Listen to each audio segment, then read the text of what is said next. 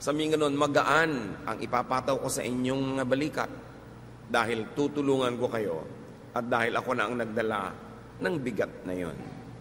Ito ba ang napapala natin sa ating pagiging kristyano? Sa pagsali sa church, sa pagiging active, because Christ's mission is to give rest and comfort. Pahinga sa mga hindi makahinga, ginhawa sa mga lubhang nahihirapan. So therefore, Christian mission should be the same. Hindi ka baligtaran. Sadly, many people, when they become religious, are burdened with guilt. Lalong napapahirapan ng loob, napapagilty at nauusig, lalong nagiging mapagkunwari, lalong dumarami ang itinatago, at lalong humihirap ang tunay na kalagayan habang nagpapanggap sa panglabas na ang lahat ay mainam. The ministry of the church is not to accuse. Accusing, accusing is the work of Satan. Revelations 12:10. Then I heard a loud voice in heaven say, Now have come the salvation and the power and the kingdom of our God and the authority of his Christ. For the accuser of our brothers, who accuses them before our God, day and night has been hurled down. So the accuser of our brothers, yung daw taga-usig, ay napalaglag na ng kapangyarihan ng Panginoong Yesus. So ang gawang mang-usig ay hindi gawa ng church at hindi gawa ng Kristiyano. Ito'y gawa ni Satanas. Pero bakit ang dami-dami mga Kristiyano walang ginawa kundi mang-usig? Nagiging mahirap tuloy sa isang taong maging totoo, kailangan siyang magpanggap dahil baka siya mausig. At ito po ang pamagat ng ating pag-aaral ngayon. Guilty? Could you be burdened by a needless load? Meron ka ba dyan na pinaghihirapang dalhin na hindi naman pala dapat? Salamat Ama dahil kayo mapagpalaya, lalong-lalo sa ministry ng iyong anak na si Jesus. Turuan niyo po kaming maunawa ito may apply ito sa aming buhay. Patawarin niyo po kami sa aming mga kasalanan, buong puso naming tinatanggap ang inyong pagbubuong muli sa aming mga kasiraan, pagtatayo sa aming mga pagkakadapa, at paglilinis sa aming mga karumihan. Be our speaker, teach us, set us free. In the name of Jesus, your Son, we pray with thanksgiving. Amen. What are the major sources of guilt? Ano ba mga pinagmumulan ng mga pag-uusig ng ating budhi? Unang-una na, at natural lang naman, broken commands of God. Mga alam nating talagang salita at utos ng Diyos na ating nila, nilalapastangan, hindi sinusunod. Natural, nagkakaroon tayo ng guilt because we were created to obey God. And whenever we disobey God, we are wired to feel guilty. But there's another source of guilt which should not be, commands of men mistaken for commands of God. Utos ng akala natin ay utos ng Diyos. Yung pala utos lang ng tao. Salita na akala natin ay salita ng Diyos, yung pala'y salita lang ng tao. God gave the Jews ten commandments. But over time, the religious authorities added 613 mitzvot or more commands and prohibitions. Sampu lang ang utos ng Diyos. Ang idinagdag ng mga pare, 613. Nasa salitang Hebrew ay tinatawag na mitzvot. In other words, it was added to the original commandments of God. So a big and wide source of guilt. Kung yung sampu, hindi mo na masunod-sunod, dagdagan pa ba naman ng 613 more? Kaya sa Israel, hanggang ngayon, kung lalakad kayo sa kalsada, o kahit sa New York, may mga Hudyo na iba yung ayos ng mga patilya, may mga sombrero, may mga ibang ayos ng buhok, may mga tali-tali sa bewang. Ibig sabihin nun, they are conservative Jews. They are committed to obey not only the Ten Commandments, but also the 613 mitzvots. Can you imagine, bawat oras, bawat minuto, may opportunity ka to break something sa dinami-rami ng bawal. At pagka nabe-break mo yon, akala mo na-break mo yung salita mismo ng Diyos. Iba ang value, iba ang weight ng mga salita, kautosan ng Diyos Ama, Anak, at Espiritu Santo sa mga salita ng patriarchs of the Old Testament, ng prophets, o ng mga disciples of the New Testament, or the church leaders after the New Testament. Words of great biblical persons are not always and necessarily the words of God. In fact, sometimes these great biblical persons are mistaken. Ang dami niyan kahit sa New Testament. Si Peter nga natawag pa ni Lord Jesus na, Satan, get behind me Satan. Maling-mali ang pinagsasasabi mo. Si Peter pa yon. So what do we do with the words of the prophets, of the patriarchs, of the disciples, of the apostles? What do we do with the words of pastors and priests and religious leaders? Bring them, refer them to the words of Jesus. For everything else that completely agrees with the word of Jesus, value it, obey it as word of God because it agrees and it comes from the word of Jesus. But if it has no basis at all in the words of Jesus, then study if it's authoritative, if it really must be to kill or die for, is it really a must to obey? Kasi kahit sa New Testament, may mga inutos sa mga disciples na pang doon lang sa specific persons or groups of persons that received the instruction, not necessarily universal for all people at all time in all places. Katulad ng utos halimbawa ng Diyos kay Noah na gumawa ng sasakyang pandagat para sila lumutang, hindi yun utos sa iyo kay Noah lang. Ang utos halimbawa ni Paul sa mga babae sa Corinth na lagi magbelo, magpahaba ng buhok, pang kanila lang, hindi para sa lahat ng babae sa buong planeta, sa lahat ng panahon, sa lahat ng dako. Kasi may cultural reasons why those commands were given. Yung mga ipinagbawal na pagkain, ipinagbawal sa mga Hudyo, hindi naman sa lahat ng tao sa planeta. Who knows, the Jews might be genetically designed not to eat those foods. Eh, pero kung ikaw naman ay Ilocana o ikaw ay Bisaya, baka pwede sa'yo kasi iba naman yung genes mo. So hindi mo pwedeng kopyahin, sundin, at pairalin sa buhay mo ang lahat ng utos at salita na nasa Biblia, kahit galing yan sa Biblia, kung hindi naman yun para sa'yo. Kaya dumarami ang pabigat, dumarami ang batas, dumadami tuloy ang nalalabag na batas na hindi naman pala dapat. Tapos lungkot na lungkot ka, durog na durog ang iyong puso, guilty guilty ka, hindi naman pala dapat. What are some examples of sources of guilt? Let's read from Matthew 12 1 to 8. One Sabbath, Jesus and his disciples were walking through some wheat fields. His disciples were hungry and began picking and eating grains of wheat. Some Pharisees noticed this and said to Jesus, Why are your disciples picking grain on the Sabbath? They are not supposed to do that. So, Sabat ang pinag-uusapan, a legitimate member of the Big Ten Commandments. Pero meron silang nalimutan. Ang kausap ng Diyos sa Ten Commandments sa Sabat ay employers and masters. Sabi niya, remember the Sabbath day, keep it holy, do not work. Do not make your servants, your female servants, male servants, and do not make your animals work. So ibinigay ng Diyos yung commandment sa mga amo para huwag nilang abusuhin yung mga tauhan at mga hayop, pagpahingahin man lang minsan isang linggo. So yun ang ibig sabihin ng huwag pagtrabahuhin. Ngayon, Sabat, namitas ng konting makakain na bungang kahoy itong mga disciples, Inuusig na sila ng mga religious leaders dahil bakit kayo nagtatrabaho ng Sabbath? See? Wrong application. And for many hundreds of years, the Israelites were burdened with the law of the Sabbath. Na hindi makapagluto pag Sabbath, meron kang hindi ka pwede maghaba, maglakad ng mahaba, na-regulate na nung 613 more rules Samantalang ang espiritu lang nun, dapat pagpahingahin ang mga taong nasasakupan mo. Pero kung ikaw, kumam, kumating likod mo, gusto mong kamutin, hindi ka man pinipilit ng amo mo na gawin yun para sa sarili mo, you are free to do it.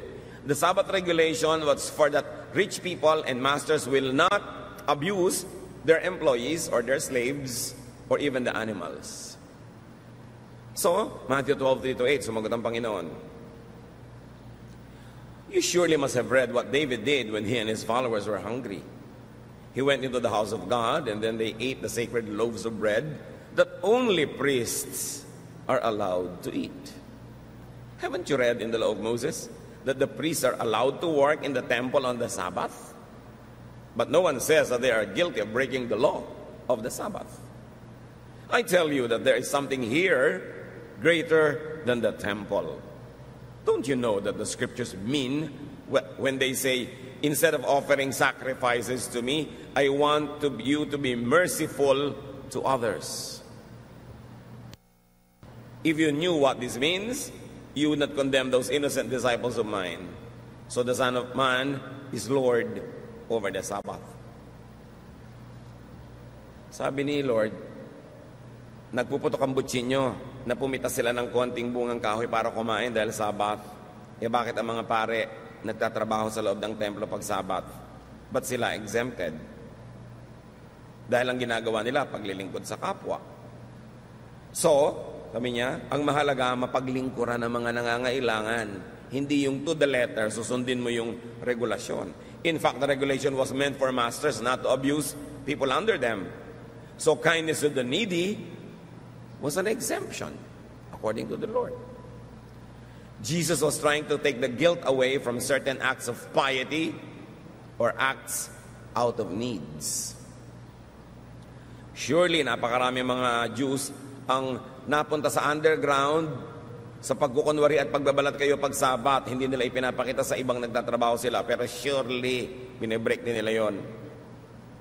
Long ago, I was in Israel and I took a taxi and we were traveling across Jerusalem on a Sabbath and we were being stoned by many people.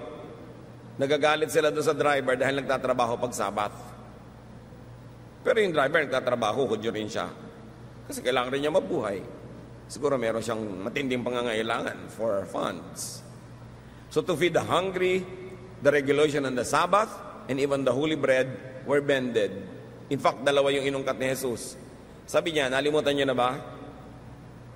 Kahit yung bandal na tinapay na nandun sa loob ng bahay dalanginan na dapat pari lang ang kakain, pumasok si David, may dalang mga lalaking gutom na gutom, kinain nila yung tinapay, ipinakain ng priest. O, nagalit ba ang Diyos? So sino umimbento na yung tinapay doon sa dambana ay para lang sa mga pare? Sino umimbento ng batas? Eh di mga pare. Hindi naman nagalit ang Diyos nung kinain nila David yon. Dahil ang pagkain ay para sa nagugutom. Malangan mamatay ka sa gutom, eh, tinapay dito na. Sabi ng batas, para sa mga pare, so mong kainin. At alam niyo ba, napakarami mga tao na nagugutom, nahihirapan, nagdurusa.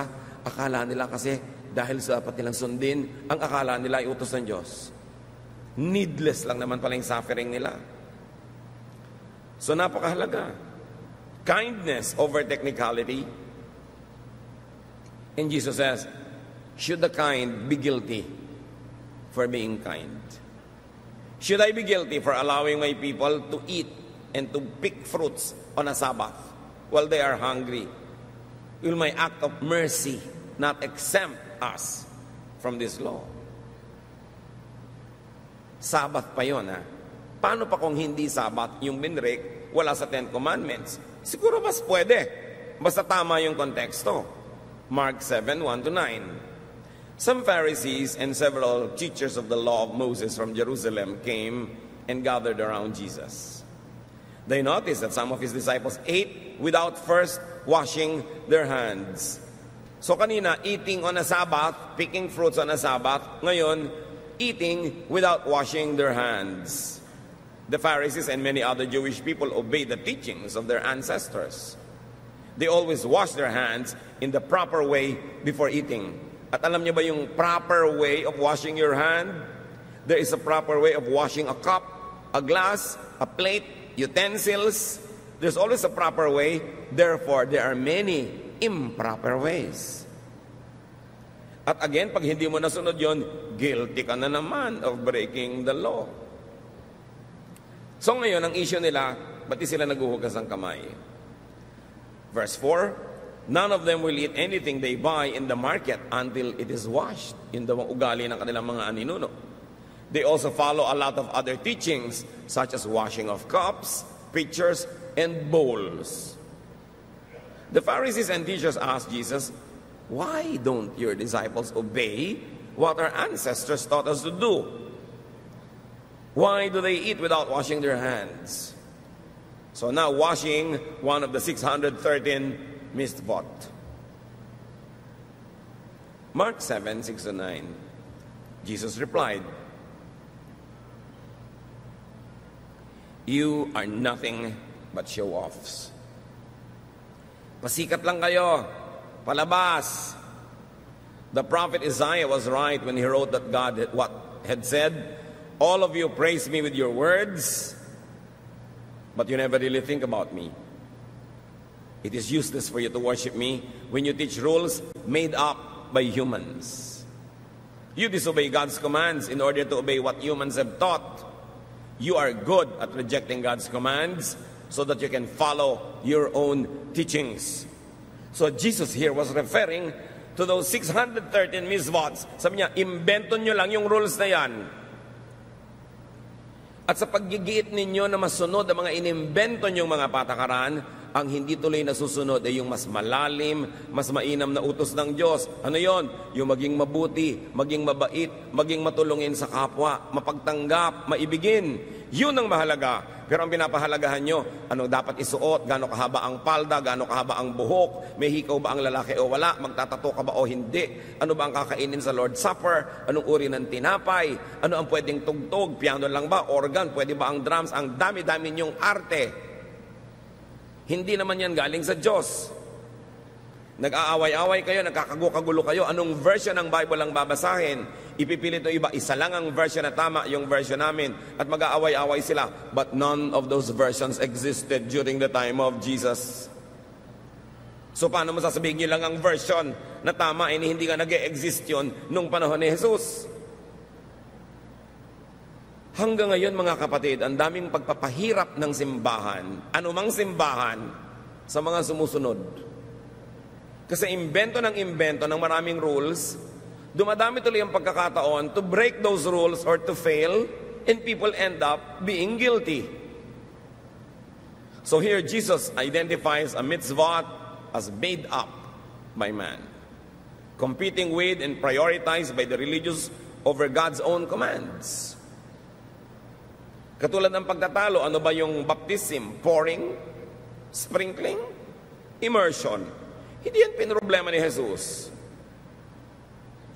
Marami lang naging mga modes of baptism later on in the New Testament and all of them biblical.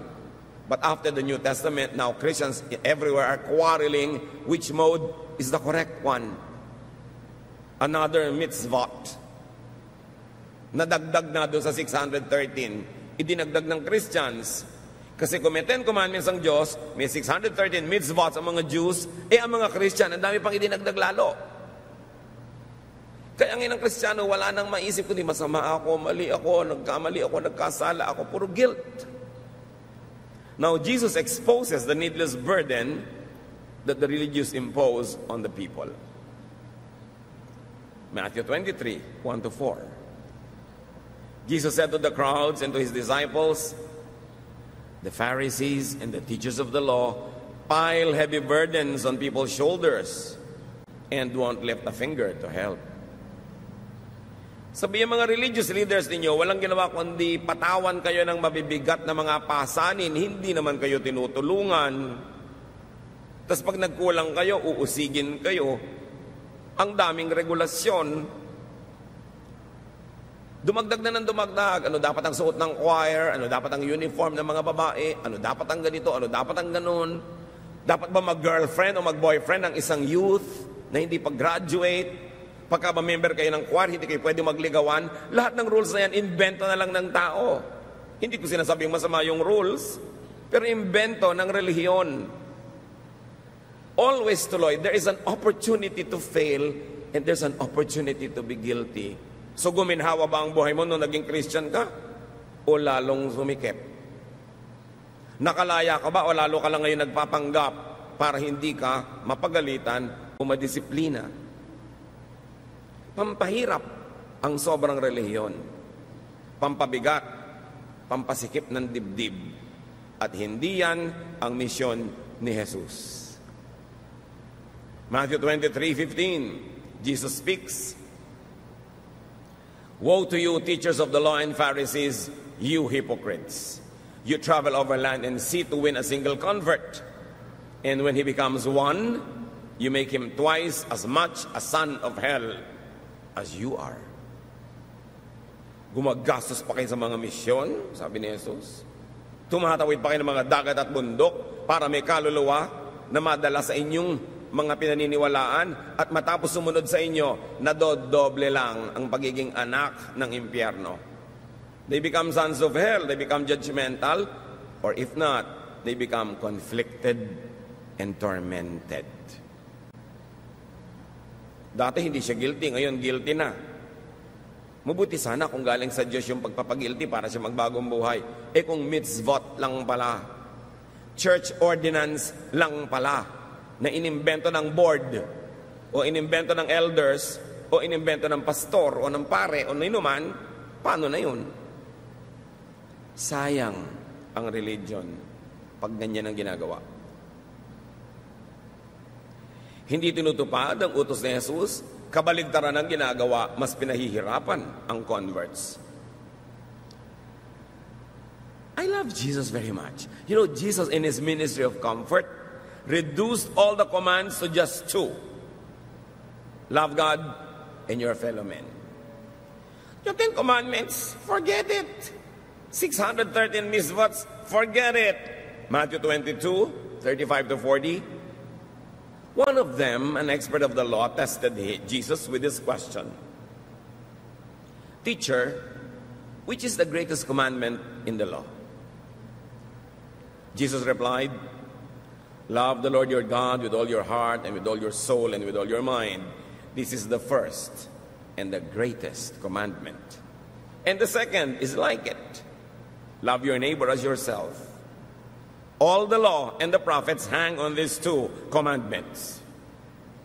Ni wala sa Ten Commandments yung binanggit niya. Sabi niya, anyo, dalawa lang ang mahalagang commandment. Kaya siguro ipinadala ng Diyos Ama ang Diyos Anak para ituwid ang pagkakaligaw mismo ng templo, mismo ng relihiyon. Kailangang itama, kailangan magkaroon ng reformation. So niya, dalawa lang. Love God, love your fellow men. Love is above all. Gusto ko kayong hamunin. At this point, humanap kayo ng application sa sinabi na yan ni Lord niya, ito lang ang unahin mo. Love God and love your fellow men. Paano niya i-apply ngayon sa mga moral laws na nakasiksik sa inyong utak? Paano niyo i-apply yan sa inyong concepts of right and wrong? Sa inyong concept of justice and judgmentalism? Sa inyong concept of religiosity? Sabi ni Lord, ito ang mahalaga. Love God, love your fellow men. Applyan nyo. I cannot do it for you. But you have to say, itong law na to ng bahay na nabe-break ng asawa ko, lagi niyang iniiwan yung mga damit niyang nakakalat kung nagbibihis siya. What will I apply? The law of the house or the law of love? Nagkamali itong aking anak. What will I apply? Yung rules ng family na hindi ka pwedeng bumagsak sa klase mo kung hindi, bla bla bla, or the rule of love. Nagkamali ang asawa ko, nagtaksil sa akin, nagsisisi ngayon. What will I apply? Justice or mercy? Tinuruan na tayo ni Jesus kung anong dapat mangibabaw. Not legalism. Legalism belongs in the court of law, but not in daily life. Because if you're going to be legalistic, no one will love you. And you cannot be loving anybody. You will always insist. Sabi ng paragraph 10, article 3, sentence number 2, pero wala magmamahal sa iyo. Pag legalista ka masyado. So sabi ni Lord, love. You cannot go wrong when you love. Because God is love.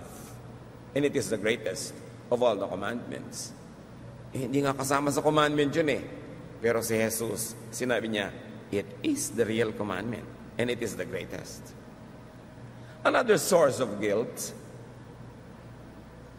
misreading, misinterpretation, and misapplication of God's Word. Okay, God's Word talaga. Hindi words lang ng kung sino, hindi words lang ng kung sinong prophet or uh, disciple na labag sa sinasabi ng Diyos Ama o Diyos Anak o Diyos Espiritu Santo. Hindi salita lang ng pastor o ng religious leader. Talagang God's Word. Pero paano pa maaaring maging caution of unnecessary guilt? When you misread, misinterpret, and misapply it. God's Word nga. You have good intention, but probably bad scholarship.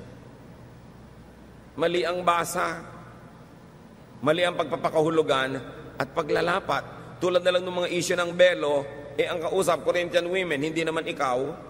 So ngayon, hirap na hirap ka, guilty-guilty ka, hindi ka nagbebelo, o ginadjust mo hindi nagbebelo, eh mali naman ang basa mo eh. Although word naman ni Paul yon, hindi naman yun word of God, yung tungkol sa belo. Kasi hindi naman God si Paul, hindi God si Peter, hindi God si David or Abraham. Isa lang ang God, di ba? Kaya pag nagbabasa kayo, letter to the Corinthians, letter to the Ephesians, huwag nyo sabihin, thus is the word of God. No, it's the word of Peter, it's the word of Paul, it's the word of whoever. It's not the word of God kasi those men are not gods. Dapat malinaw yun. Minsan nagbabasa ka ng kung ano-anong mga letters dyan sa Bible, tapos mo, Word of God. It's the Word of God if the teaching perfectly coincides with, agrees with, and follows the words of Jesus. Otherwise, it's a human opinion. It's the opinion of Peter, it's the opinion of Paul, it's the opinion of James, but it's not the Word of God. Dapat malinaw yon. Magkakaiba ang tindi, bigat at halaga ng mga salita. So what are the additional causes of guilt? Let us cite some examples. In addition to Old Testament and New Testament teachings, ito na ang sources of guilt, as we have mentioned, congregational, sectarian rules, and regulation. Yung mga rules and regulations ng inyong kongregasyon, ng inyong kapatiran, ng inyong fellowship, whatever. At marami yan. Nagdagdag sila sa mga misvot. Mode of baptism, elements of the Lord's Supper, attire, length of hair. May Christmas ba o wala? Issue rin yan. Church ba kayo o fellowship lang? Nadidinig nyo yan, di ba? Ang pastor nyo ba reverend o pastor o brother lang? Alam nyo, hindi ko masikmura na ang tao tawaging reverend. Kaya gusto ko tawag niya lang sa akin, Kuya Ed. Kasi kumisan, pastor ba? Wow. Pero may reverend ba? Ay, meron ba o wala? What's the big deal? Kumisan yung sobrang pagpapahalaga sa title is the reason why I refuse all of these titles. Kakilakilabot, may tao bang reverend? Banal? Kabanal-banalan? Ano siya? Katipunan na anak ng bayan? At ang dami pa niyan, etc., etc., ad nauseum, nakakasuka na sa dami ang mga congregational rules. Hindi ka pwedeng tumugtog sa banda pag mahaba ang buhok. Nasaan yung verse? Hindi mo pwedeng ligawan ng kapwa choir member. Pareho naman kayong binata at dalaga. Bakit? Ang dami. Well, if it works in some congregations, that's their business. But I don't think it is a word of God to die or kill for. It's an opinion. Siguro yung mga church leaders, nakita na mas effective yung ministry, mas less ang problem pag ganun yung policy. But sometimes the obedience of that policy stops people from being human. At hindi rin naman sinusunod ng mga choir, nagliligawan din sila. Nakalihim lang. It's only underground. And therefore they are guilty. That's what I mean. You create rules that force them to go underground and to feel guilty. Kung honorable, parehong single, ano nang pakialaman mo magligawan yung mga yan? Ba't pati yun pinapakialam mo pa? Di ba? So napaka-importante na sabihin natin, ay, Policy lang yan ng mga tao. But then you are a member of a church, so you obey. Ayaw mo mag-obey, di join another church. Pero pag nandun ka, edi mag-obey ka. Alam naman nandun ka, tapos ayaw mo mag-obey. At yun ang problema. Gaano karami ang ilalagay natin na mga regulasyones that will force people to either sacrifice, feel guilty, or disobey? Kailangan ba talaga? Marami niyan mga gravely misunderstood, over-sensationalized, and over-demonized aspects of life, like lust. sexuality. Sobra ang pagpapagilty ng simbahan sa mga tao when they have sexual feelings. Pero sino ba ang nag-create ng human body? Di ba Diyos? So bakit kung magiging guilty ngayon kung nakikiliti ka, na-attract, basta hindi mo ginagawa to the point na nagiging kasalanan na, nagbe-break ka na ng rule, nangaagaw ka na ng hindi sa'yo, you know, creation, design, and biology all express the intention of the Creator. Then religion imposes unrealistic and unnatural expectations and requirements. Ituturo sa mga young boys, naku, hindi kayo dapat nagkakaroon ng sexual arousal pag nakakita kayo ng maganda. E anong gagawin mo? They are wired to be aroused. So guilty-guilty na ngayon sina-arouse. Ang mahalaga lang, what will you do with the arousal? How will you contain it? How will you control it? How will you decently put an end to its urges and the fevers that it gives you. Pero for people to feel guilty for being normal, created by our God to be like this, it is an unnecessary guilt. Labag na yan sa biology 1. Remember that God is God of biology too. So ang nagiging result is guilt for what is only natural. God is the designer and author of nature. Now, again, challenge number two apply and process this in your own life. How will you differentiate between even sexual attraction that you should be guilty of and that which you should not be guilty of? May dumaang maganda na attract ka, magigilty ka na ba? O magilty ka kung sinundan mo siya at ni-rape mo doon sa dilim? O inagaw mo siya sa asawa niya. Pero ina-attract ka, sabi nga ni Martin Luther, you cannot stop birds from flying over your heads. But you can stop them from nesting in your hair. So may mga natural lang. Huwag masyadong serious. May mga tao wala nang ginagawa kundi mag-confess. Lagi, lagi, lagi, lagi. May young person, oh, nakayuko ka naman, nagko-confess po ako, nagandahan po ako sa dumaan.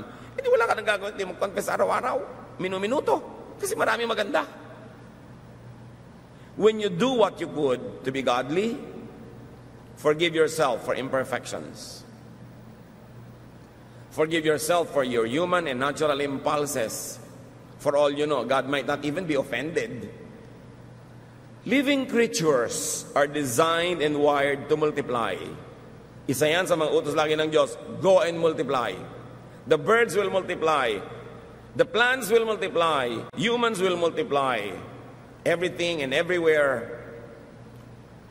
Creation is filled with animals and plants that are wired to multiply. Therefore, they are to be sexually oriented. Kahit ang bulaklak, the bulaklak is the sexual organ of the plant. At kung ano-anong ginagawa ng bulaklak para umakit ng bubuyog, Di ba nagpapabango, may mga kulay, may mga kung ano-anong mga lumilipad-lipad na mga design. All of it to attract pollination. All of it to attract sexual intercourse through the insects so that the, the flower will become a fruit and the fruit will become a tree. So, mamasamayin niyo ba yung bulaklak na nagpapaganda? Mamasamayin niyo sa bulaklak na, di bale, wala akong kulay pero mabango naman ako. Kaya lahat ng mga bulaklak na walang kulay, mabango. Yung mga wala namang bango, makulay naman ako. Dinadaan sa mga kung ano-anong gimmick to attract insects. And if plants would do that, will you demonize people if they like to be attractive or if they get attracted? Kailangan lang ilalagay mo sa lugar yung susunod na mga hakbang niyan. Pero don't be needlessly guilty for being alive. Remember that you're spiritually imperfect, especially after the fall. But remember also what God remembers about you. Psalm 103.13, 103.14 rather, because God knows we are made of dust. Alam niya, gagawa tayo sa lupa. At hindi laging masamang we are made of dust. Naaalala lagi ng Diyos, oo nga, nilikha ko sila to reproduce among themselves in a sexual way. Kahit mga bubuyog, walang inisip kundi mag-sex, di ba? Mga aso, mga pagong, mga halaman, lahat. But of course, we humans are governed by higher spiritual laws, but you should not demonize yourself for being alive. and for being sexually alive. Except that God has given us ways how to address these needs and this need of humanity to continue to procreate. Pero hindi laging guilty, laging guilty, laging guilty. Merong dapat ika-guilty, merong hindi. Kayo ang pumili. But remember biology, plants, animals, and humans are made of dust. It could mean are sexually oriented. That is the way we reproduce. Psalm 51:5 Surely I was sinful at birth, sinful from the time my mother conceived me. What a sobering realization or acceptance. Hindi ito laging self-condemnation. Surely I was sinful at birth, sinful from the time my mother conceived me. It could be a very enlightened way of accepting oneself. Oo nga, I can strive to be better, I can strive to be good. Once in a while, I will have some dosages of momentary perfection, but I cannot be perfect for long because I am made of dust. And in sin, my mother conceived me. It is not meant to justify wanton wrongdoing, but it is meant also to make us realize that there is an end to what we can do as humans, and we should not be guilty for being humans because we are still in the human frame. Another cause of guilt, which should not always be, is the issue of pleasure. Diyan magaling ang church, o sige lahat na nag-enjoy. Bawal mag-enjoy. Bawal ang masarap na pagkain at marami. Bawal ang magandang damit. Bawal ang alahas. Bawal ang ganito. Bawal ang malaking bahay. Bawal ang ganito. Lahat. But Solomon says, in all his wisdom, enjoy life. So will you be guilty for enjoying? Sabihin, naku, tama po ba pastor na magpa-party po kami, ang dami namin gagastos, and tapos maraming mahirap. Eh gusto mo, huwag ka na mag-party, pamigyan mo na lang sa mahirap lahat ng pera mo. Eh mahirap pa rin naman po sila kahit ibigay namin yung pera namin eh. Eh di mag-party kayo ngayon para huwag ka mag-guilty, magpadala ka ng pagkain doon sa mga mahirap mo kapitbahay. O magpadala ka ng donation sa charity, a certain percent of your budget. Pero alam mo, hindi ka na mag-party, binebless ka naman ng Diyos with abundance, tapos mamumuhay ka rin na parang mahirap parang binaliwala mo naman yung blessing sa iyo ng Diyos. So, lalagyan mo ng balanse para di ka mag-guilty. Marami pang issue, especially the issue of divorce. Alam nyo, kung masusunod lamang ang napakaraming unhappy couples, they will like to have divorce. But many are confused. Many are condemned, and many suffer needlessly And one gravely misunderstood verse is Malachi 2.16. I hate divorce, says the Lord God of Israel, and I hate a man's covering himself with violence as well as with his garment, says the Lord Almighty. So guard yourself in your spirit and do not break faith. Ano ang kahulugan ng mahiwagang verse na ito na kinokote ng lahat ng Christian who are against divorce? but they usually quote it out of context. Sabi ng Diyos, ayoko ng diborsyo na para bang ginagamit lang yung diborsyo ng mga tao na damit, pangtakip sa kanilang mga violence, pangtakip sa kanilang mga bisyo at mga kasamaan. Here, divorce refers to Israel's unfaithfulness to and departure from God than to a husband and wife separation. Yun ang problema sa bad scholarship. Ang tunay na tinutukoy dito ay ang paghiwalay ng Israel sa Diyos. Hindi yung paghiwalay ng babae at lalaki mag-asawa. Ginamit lang yung metaphor ng marriage, pero ang tunay na tinutukoy ng subject matter, pagtalikod ng Israel sa Diyos. At pakikitungo sa ibang mga Diyos-Diyosan. Marriage was used only as a metaphor or a symbol, but Malachi is not talking about human marriage. It's talking about the partnership, the covenant between God and man. At yung salitang divorce in biblical vocabulary also referred to man's abuse of it, of this empowering and destroying women.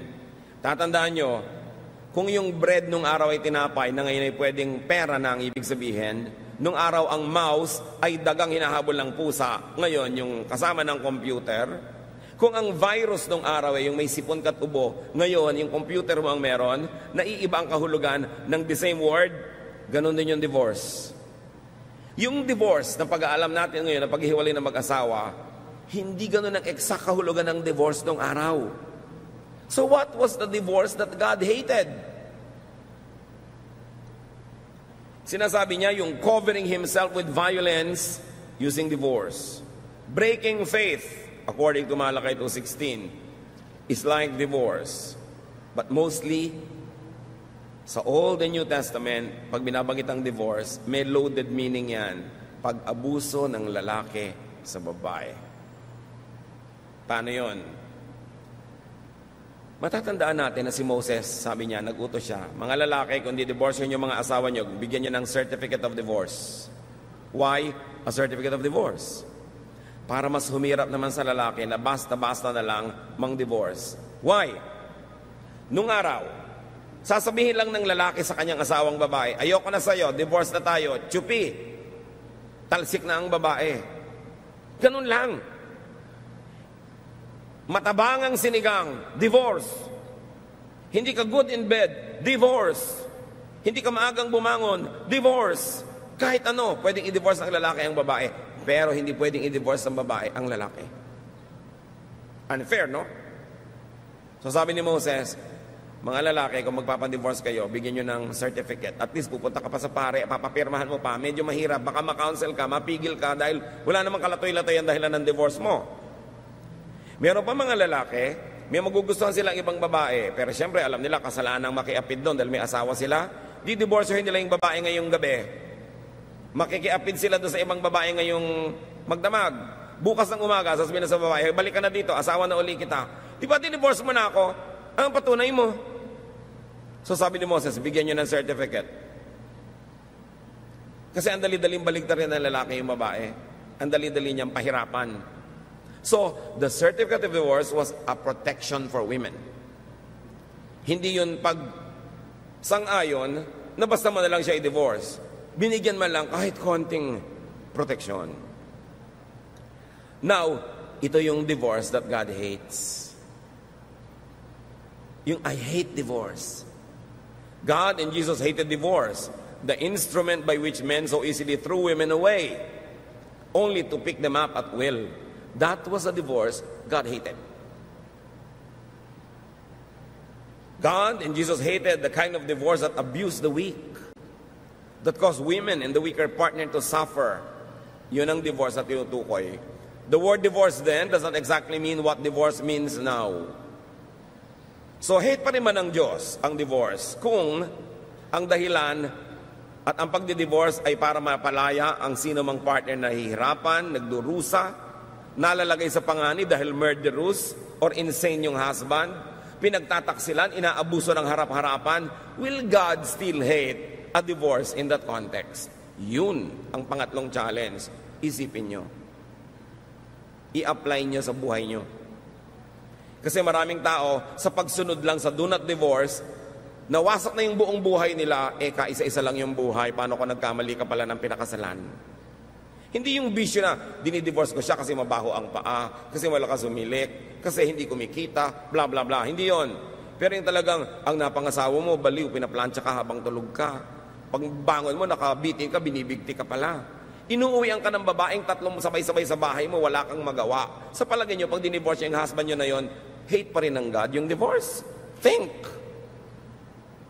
Because God is kind and God likes the weak to be strengthened.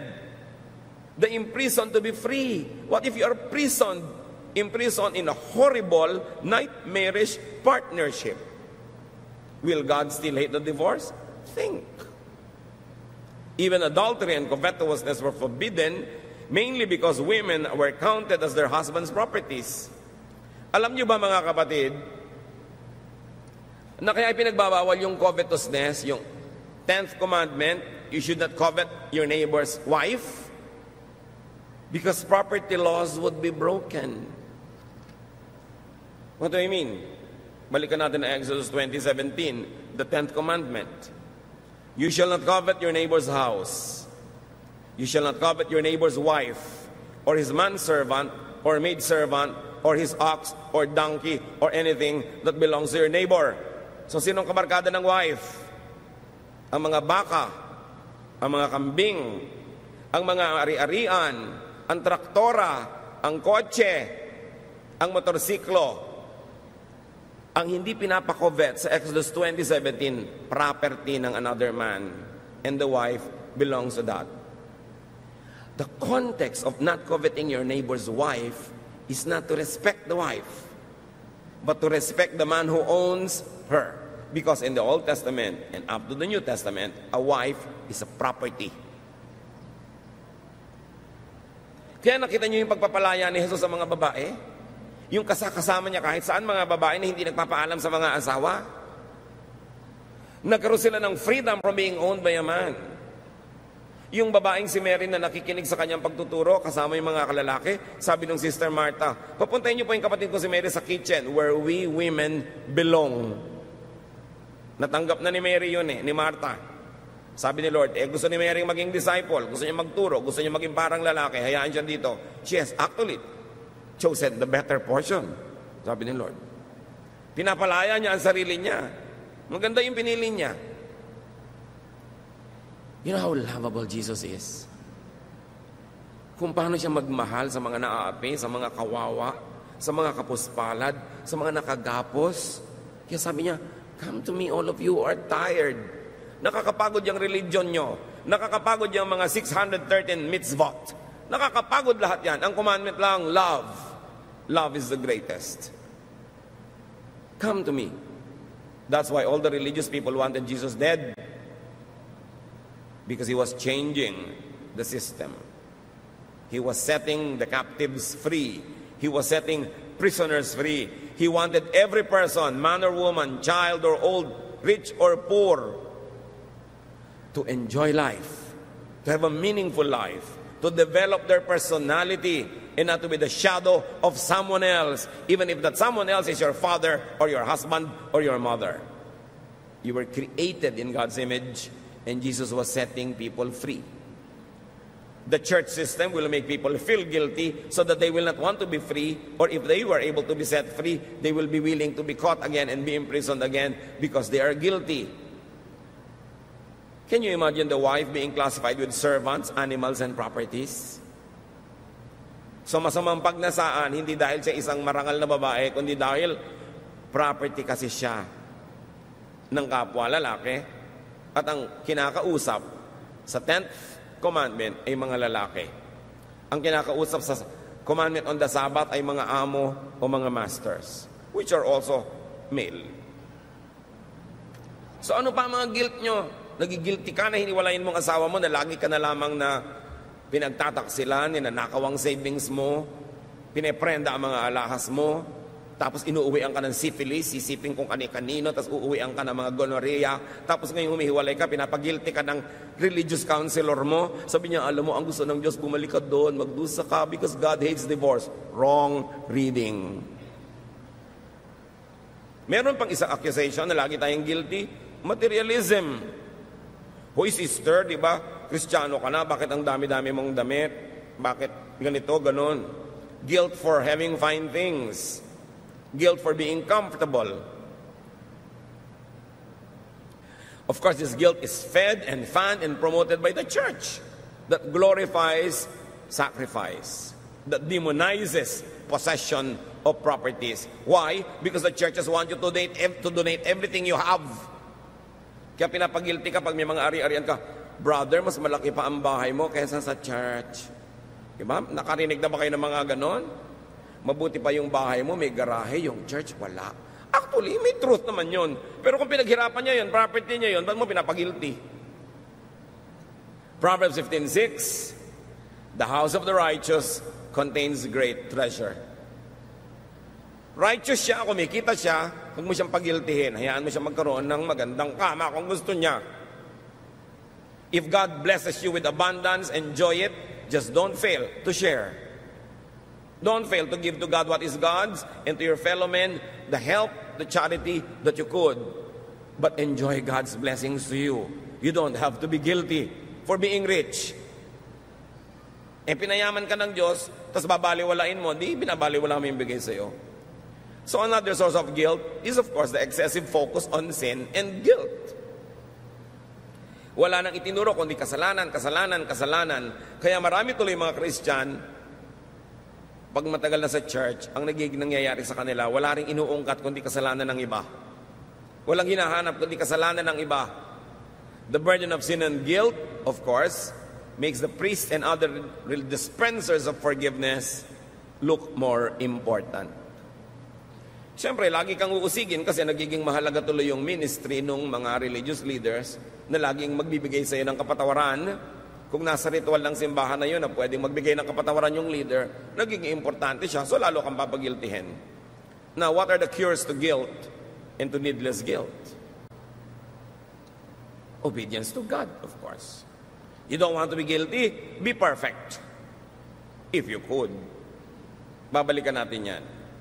Another cure, knowledgeable, wise, and spirit-led scholarship. Pangontra sa pinag-usapan na natin kanina na careless or substandard knowledge of the Word of God. Mali-mali tuloy interpretation, mali-mali ang reading, nahihirapan tuloy. There should be differentiation of man's commands from God's commands. Men in the Bible, men outside the Bible, men in your church, man-made rules. Dapat clear. Ito talaga, yung Ten Commandments. Pero, sabi ni Jesus, dalawa na lang, love God and love fellow men. Ano ngayon ang relasyon ng mga ibang regulasyon ng buhay mo doon? Process it, the fourth challenge. Gano'ng kahalaga talaga yan? So they really feel guilty? Idinidikdik ng pastor talaga, ng mga religious leader, Sunday is for the church. O may lagnat ka, hindi ka makapunta sa church, will you be guilty? Birthday ng nanay mo, may celebration kayo sa Palawan, sasama ka ba o mag-church ka? Kung sumama ka, will you be guilty? It's a challenge for you. Process it against God's commands, against God's love, against what is needed, against what is practical, what is decent, process it. Pero siguro naman kung out of the 52 weeks, eh, 40 na yung absence mo, dapat ka na talaga mag-guilty niyan. Tamaan ka ng kidlat, lumubog ka sa lahar, kung gano'n na karami yung absent mo, no? Pero kung may mga mahalaga, may namatay, mayroong may sakit, may celebration, huwag ka lang lumampas ng more than 10% of the year na absent, dapat ka ba talaga ba guilty? But some churches will make you feel guilty. Why? Because they want you to attend. Why? Because when you attend, you donate. Eh kung magte-text kayo, Pastor, absent po ako pero ipinadala ko na po sa Bangko de Oro ang aking tithe. Baka hindi ka na usigin. Eh, absent ka pala, di ipadala mo para matulungan mo pa rin church. Kasi kahit absent ka naman, ganun pa rin yung rent ng building eh. Di ba? Kahit absent ka, ganun pa rin yung bills ng kuryente. So yung mga obligasyones mo, huwag mo pabayaan dahil lang absent ka. O pagka-present mo, doble. Siguro hindi ka naaawayin ng whoever religious leader yun nandun. Kasi siyempre the church has to survive its economic responsibilities. So, a knowledgeable, a wise, and a spirit-led reading, interpretation, and application of God's Word, and church history kailangan niya ng tao para mabawasan ng excessive expectations, oppressive standards, needless guilt when you fail, and needless judgmentalism when others fail. Test. Para malaman mo, ito bang teaching na ito is to die for, to kill for? Is it really from God? Use this test. Is it easy and restful? Itong policy ng church namin na to, doable ba? Easy and restful. Because easy and restful is the style of Jesus. Pag compressive, ang hirap-hirap, baka hindi na style ni Jesus. Ask yourself, does it make life easier and more restful? Is it Solomonic in Jesus' life? Does it condemn or affirm? Include or exclude? Accept or reject people? Does it make one self-righteous and judgmental and separatist? Itanong nyo yan.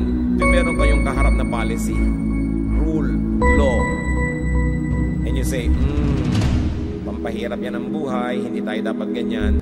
Dapat pagaanin natin. Kasi doon nga sa labas sa mundo, ang bigat-bigat na ng dala ng mga kapatiran, alam na mapagpasok sa chest, mas dadaganan pa natin. Mararamdaman mo kung off ang reading, pag ito'y oppressive at papunta sa guilt trip. Parang papunta sa guilt trip ito dahil sigurado hindi naman ito masusunod eh. Halimbawa, may policy ang church, o ting linggo, alas 4 ng umaga kay darating dahil magdadasal tayo na tatlong oras before worship. Alam mong, ay marami hindi makakasunod, magigilty lang. Gawin na lang nating 6.30. Ganon din naman yun. Another cure to guilt is of course confession. If you could not be perfect. Yan yung sabi natin kanina, be perfect or jump to three, confess. Do your best, then acknowledge your shortcomings if your best, best is only up to so and so. Be perfect, but if you couldn't, when you fail, confess. Ang bait ng Diyos. Mataas ang requirement niya. Sabi niya, be perfect for I am perfect. Tapos may kasunod, 1 John 1.9 But if we confess our sins to God, He can always be trusted to forgive us and to take our sins away. So, mga anak, dapat perfect ang grade mo. Pero kung 74, love pa rin kita. Yun yun. May mga anak, takot na takot sa magulang, nagpapakamatay pa yung iba dahil mababa yung grade. Kasi tinakot ng tinakot. Dapat mataas talaga yung expectation mo. I expect you to excel. I want you to be the best. I want you to win. But if you don't win, my love remains the same. Yun ang love ng Diyos. Love na hindi natin dapat gawing lisensya para huwag na tayo magsikap na maging mas mabuti ng mas mabuti ng mas mabuti. Total, patatawarin pala tayo. No. Sa pagtingin natin ng utang na loob, sa walang patakarang pagtanggap, sa walang hanggang pag-ibig ng Diyos, lalo tayong dapat mag-excel. Not because we are compelled, but because we want to return God's kindness. Hindi dahil tayo napipilitan, kundi dahil nating gustong suklian ang kabaitan ng Diyos. Kailan ba natin mauunawa? Maia-apply at mai-enjoy ang pag-ibig ni Jesus sa buhay natin. Anong ibig sabihin na meron kang tagapagligtas? Anong ibig sabihin na may naguhugas ng iyong kasalanan? Anong ibig sabihin na merong laging tumatanggap sa at nagpapatawad? Ang ibig sabihin nun, relax. Be restful. And let other people relax and be restful also. Marami mga kapatiran, mas mahigpit pa sa Diyos Diyos ang bahala. Gusto kong idiin, huwag gawing lisensya ito para maging pabaya. Pero lagi niyong tatandaan, pag nagawa niyo na yung best niyo at hanggang doon na lang, papunuan niyo kay Jesus. Siya ang pupuno. Siya ang perfecter of our faith. We strive, we struggle, but we cannot be perfect. So wherever we reach our maximum, our limits, let God be the perfecter. Let Him add so it becomes full. You want to be restful? Focus on forgiveness and justification in Christ. Focus on God's kindness. John 8, 7 to 11. If any one of you is without sin, let him be the first to throw a stone at her. Sabi ni Lord sa crowd na gustong bumato sa babae na nahuli sa kasalanan. Again, he stooped down and wrote on the ground. At this, those who heard began to go away one at a time. The older ones first, until only Jesus was left, with the woman still standing there. Jesus straightened up and asked her, Woman, where are they? Has no one condemned you? No one, sir, she said. Then, neither do I condemn you. Jesus declared, Go now and live your life of sin. Caught in the act, the people wanted to stone her to death, and Jesus says, Well, sige, yung walang kasalanan, mauna na lang bumato. Wala siyempre naglakas ng loob dahil lahat may kasalanan naman eh. So sabi ni Lord, oh, wala bang bumato sa iyo? Wala po. Hindi rin kita babatuhin. Umuwi ka na iha at magbagong buhay. Loving. Very nice. Maraming Christian, brethren, kapatid, judges, accusers, condemnators. And that is the work of Satan, not of Jesus. So, the last cure in the list, but not definitely in the truth about life, is acceptance of one's humanity, mortality, imperfection in this life. Also, acceptance of other people's humanity. Kailangan matanggap mong tao ka, hindi ka pa perfect. But you grow in the Lord. You grow in Christ likeness. Room for improvement is the biggest room in the world. 2 Corinthians 3:18, the Lord's Spirit makes us more and more like our glorious Lord. So while you cannot be perfect, you can get nearer and nearer to perfection, to Christ likeness. That is doable. That is required by God. So ulitin natin ang sabi ng Panginoong Isa sa Matthew 11, 28 to 30 to give a context to everything we have discussed.